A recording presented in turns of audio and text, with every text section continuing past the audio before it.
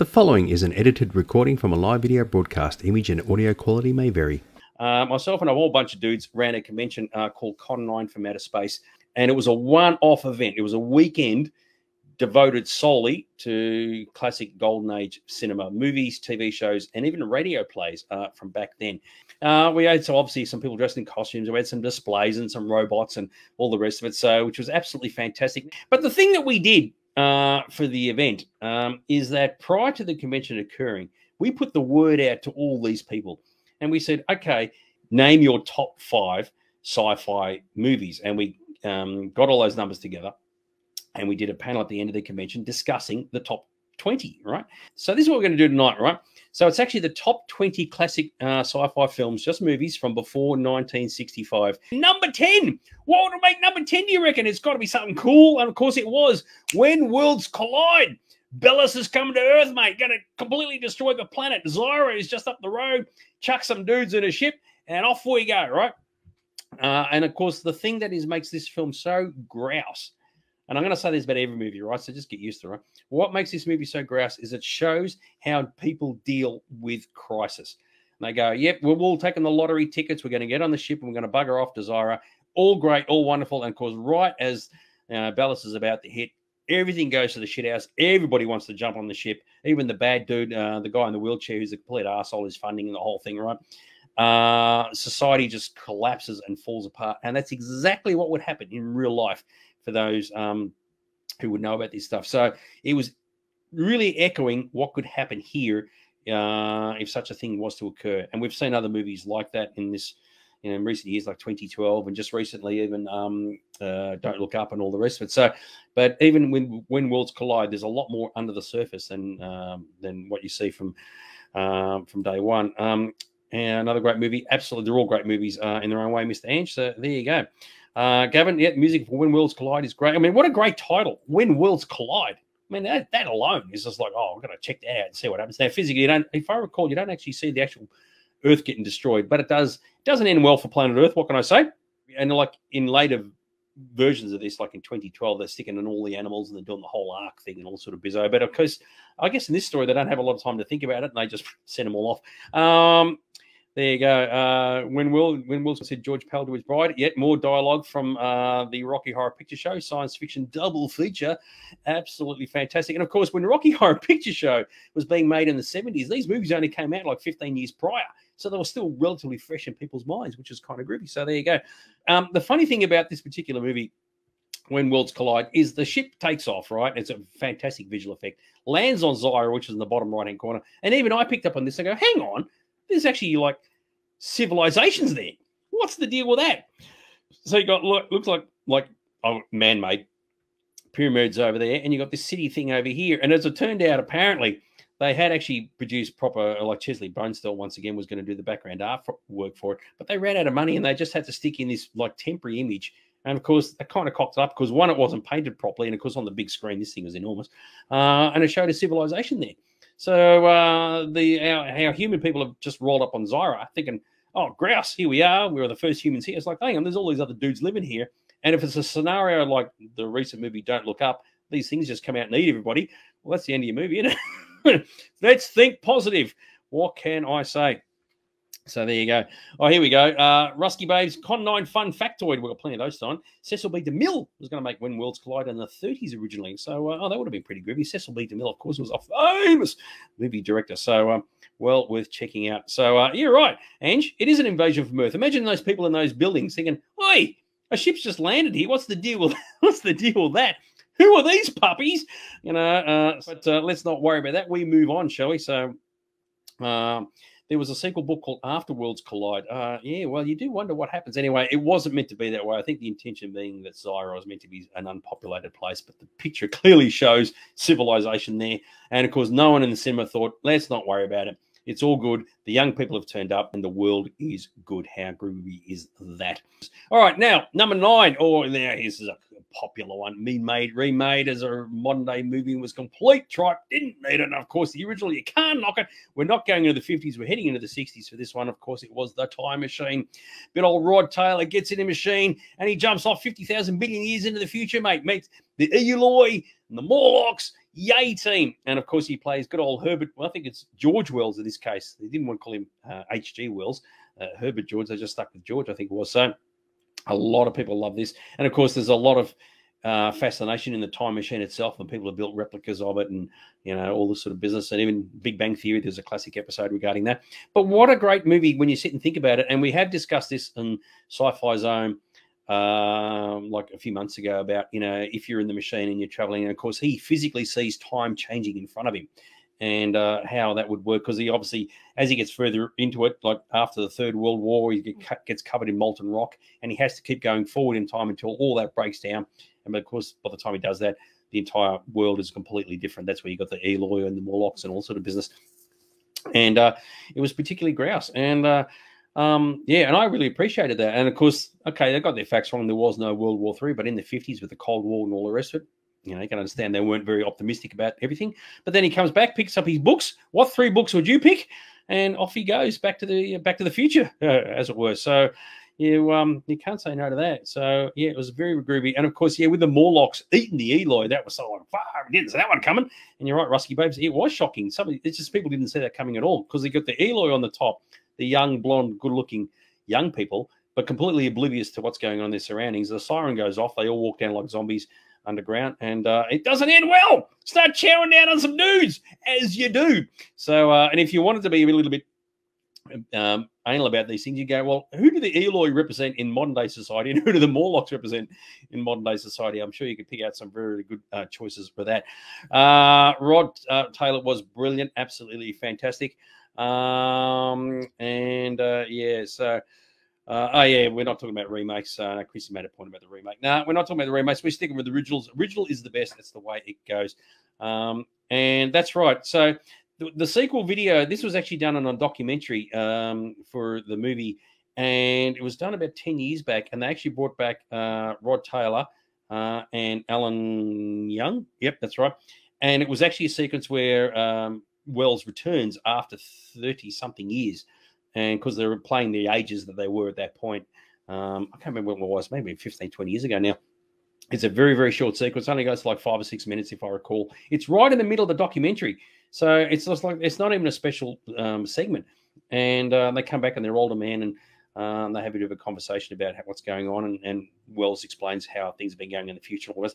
It's very, very cool, very groovy, something a little bit left field, but I don't think many people saw it. So, uh, but if you get a chance, check it out. So, but yes, the Time Machine, excellent movie, and uh, yeah, there's very little about it that you could you could fault. Uh, I've got to say so.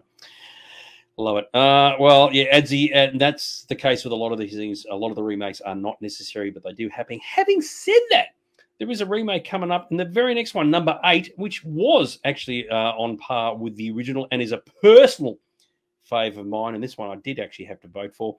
Uh, was, of course, The Thing from Another World. Absolutely love this movie. The coolest thing about The Thing from Another World, um, because it was a Howard Hawks production, is that all the characters talk over the top of each other. It is so true to life. So it's not like a lot of movies where you know, character A speaks and then character B speaks and character. You'll actually have two characters talking here, two characters talking there. It is so natural in the way the dialogue is presented. And it, I mean, it takes a bit of getting listening to. You have to listen to it because obviously the microphones are picking up the different um, um, speeches. But it is so realistic because typically when people are talking, if you've ever been to parties, you'll have two people talking here and three people talking there, and that's what they do in this movie. And it just has a beautiful flow to it. And what one of the key things is is that obviously there's hardly any females in it. There's actually a woman in the movie, but she's not a scream queen. She's not a damsel in distress like a lot of the movies were at this point. She's actually a strong person, and you can really sort of dial into that. And of course, you've got the scientists trying to um, keep things sort of hidden away, and he's vegetable based in this particular story. And yeah, it's a dude in a suit, you know, Desi Arnaz Jr., whatever, whatever. But it was really, really groovy. And I saw this as a little kid in the 70s, right? It was on TV, so the movie the movie only came out 20 years prior. And at the start, when the thing is uh, run off in the snow and the dogs chase him uh, and they bite his arm off, oh, that scared the shit out of me. I had to go to bed. I couldn't, I couldn't watch anymore. It's freaking me out big time.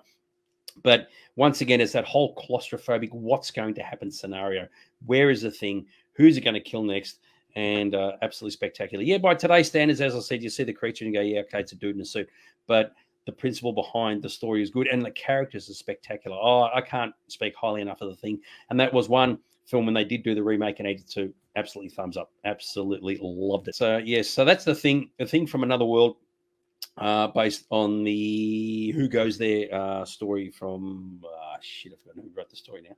Somebody out there will know. But uh, hmm, very very cool find this thing in a block of ice. It's a spaceman from another planet, and the they've got a, a, a, news news reporter there, he wants to go back and tell his story, and they say, "No, you can't do that because uh, they don't want worldwide panic." And uh, yeah, very very good. So if you get a chance, check it out. Absolutely loved it. All right, so that brings us to what's number seven. We count them down now. I mean, the top three or four, you're probably going to be able to figure this out, right? So there you go. John Campbell, who wrote the book. Thank you. Very good. Uh, who goes there? Thank you. I knew somebody out there would know. Now, this one that's coming up, right? This the other version of this was done as a farce, and it was like really disappointing. But this particular one, they said, all right, if you try to do it seriously, let's take it like right to the nth degree. Can it work? Right? Can it actually have the impact that it should have? And for that, and I saw this at the Valhalla, and this was a magnificent film. And of course, it was the incredible shrinking man. Now, the key thing with this is the character Scott Carey when he starts to shrink. I mean, visual effects notwithstanding, I mean, there's some stuff that worked really well and some stuff that didn't, but because they did the whole thing in miniature, yeah, he's uh, like having really oversized props and all the rest of it. They tried to take it seriously. If you start to shrink, what happens to your world? And of course, in the story, uh, the wife thinks that the cat has eaten him, right? Which is in the sequence in the top there. But he hasn't. He's ended up in the basement right, of the place. And of course, as he's getting smaller and smaller, he's trying to work out how to get out of the basement. And he's got the big props and all the rest of it. And of course, one of his foes is a spider. And the sequence between him fighting the spider, it's a real spider, right? And of course, in his scale, the spider is gigantic. And I remember seeing this in the cinemas, and people who were like um, uh, acrophobic, no, what do you call it when you're afraid of spiders? Is it acro, acrophobia? Yeah. Uh, this thing's gigantic. And you go, my God, this dude's got to fight a spider and he has to do it to survive. And the key thing is he keeps shrinking. He keeps getting smaller and smaller and smaller. And I loved it because they took it seriously. They didn't take it as a joke. When they did The Incredible Shrinking Woman with Lily Tomlin 20, 30 years later, that was just done as a joke. And it's like, no, was it? Yeah, it was the yeah Lily Tomlin movie. That was just done as a joke, but this one was done really seriously, and uh, and I had to really respect them for that. So, uh, yes, good stuff. You've got to check it out. Um, oh, Elf, just watched it again last night, as you should, old son. Uh, yes, it is well worth checking out. As someone said, the only downside with some of the visual effects when he's running across the carpet with the cat, there's no shadow and all the rest of it. Yeah, you kind of got to deal with it. Uh, yes, thank you, uh, Gavin. Arachnophobia, yeah, because they made a movie about that. Um, so yeah, and that's the thing. He's got to survive in his world, and it becomes his world, and that's the key thing about it. And uh, yeah, it's it's just something different, something you wouldn't expect. And uh, yeah, Love it. So, uh, yes, the Lily Tomlin movie was a big flop, as uh, I can completely understand that too. So, there you go. Uh, yes. Fantastic. So, if you had a chance to see the incredible shrinking, you got to see it in the right mindset. Don't look at it as like, oh, how are they going to do visual effects and how's it going to look? You take it seriously. Go, okay, how does this dude deal with Because he narrates his whole way through because he's him by himself. He has to explain what he's doing. The wife thinks he's dead. And of course, he's not. He survives and he just gets smaller and smaller and smaller. It's oh, absolutely spectacular. So, there you go. All right. Uh, I like this one from Jeffro. Yeah, the director went on to bigger and better things. Yeah, Brady Bunch and Gilligan's Island episodes. Well, hey, they were successful in their own right. So uh, maybe from his perspective, it was a huge jump up in his career. So there you go. All right, this one. Now we get into the stuff that you got. You gotta love this. I saw this as a kid, and it gave me effing nightmares. Absolutely shit myself. Right when I was a kid. Of course, it's the Blob, mate. How good was this? The thing crawls up the dude's arm, you know, and he can't get it off, and he's shaking it off, and it can encapsulate encapsulates him how friggin' scary was this friggin' movie? And um, I got to absolutely love it. Now, of course, Steve McQueen was in this, and of course, at this point, he was known as Stephen McQueen because at this point, he was a nobody. And even today, and I was discussing this with someone just the other day, the Colonial Cinema in the town, which I think still exists every year. I think it was every year. I don't know if they still do it. They used to have a running out of the cinema moment, right? So because the blob invades the cinema and they all run out of the colonial, and it was as a bit of a, a blob fest type thing. And you're right. yeah, you're right. The theme song, yeah, okay. The theme song was a little bit comedical, you know, by Burt Bacharach, but um, had it affect jelly sales. But the thing is, it was damn scary because you didn't know, you couldn't work out what it was, um, and it would just take people over. And of course, in the cinema, when it just comes through the, the projection booth and you go, oh my god, this thing was freaking awesome. And uh, and and to be fair, even the remake in the 80s was very, very good. That was actually frightening, I've got to say. So um, oh my god, Elf was watching this just two nights ago. What are you doing, Mr. Elf? You live in Con 9 from outer space in your bloody house or something, mate. So how grouse is that? So um uh, and Mr. Vile saw this at Con 9, yeah, it creeps, etc. And it does. And of course, in the end, it's like, how do you kill it? And of course, they drop it off in the Antarctic because it doesn't like cold weather. But of course, the funny thing about this story, it was one of those movies in the 50s where it's like the adults don't know anything. It's up to the teenagers to save the day, right? The kids know shit, right? Uh, you know, adults, yeah, the police and the government allow they're all they're all a bunch of knobs, but the kids know all. And of course, Stephen McQueen and his droogs, they go, "Yep, we're going to go and fix the day and uh, and uh, alert everybody to the problem that's going on regarding the blob." And it was just a magnificent, magnificent, scary movie. And as I said, as a kid, shit myself. It gave me nightmares. I was afraid to have my arm out on the side of the bed that night, thinking the blob was going to come up and eat me and all sort of bizarre. So, yes, there was a sequel, Son of Blob, and believe it or not, they made another movie called Beware of the Blob, and it was directed, believe it or not, in the 70s by Larry Hagman. Good old J.R. Ewing himself. I think it was his one and only directorial, direct, directorial debut, Beware the Blob in the 70s. Why would you bother? Stick with the original. So, uh, yes, exactly right. Love it. Next up, we count down from number five to number one.